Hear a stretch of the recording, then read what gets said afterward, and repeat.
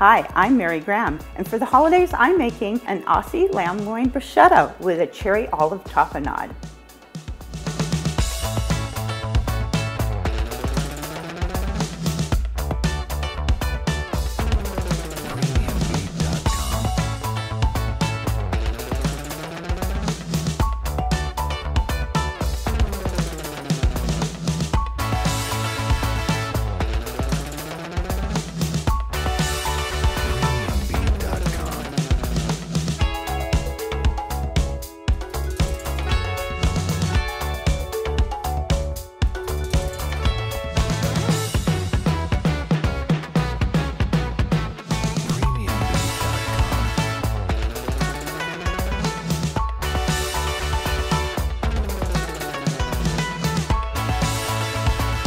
For more recipes, go to trueaussiebeefandlamb.com.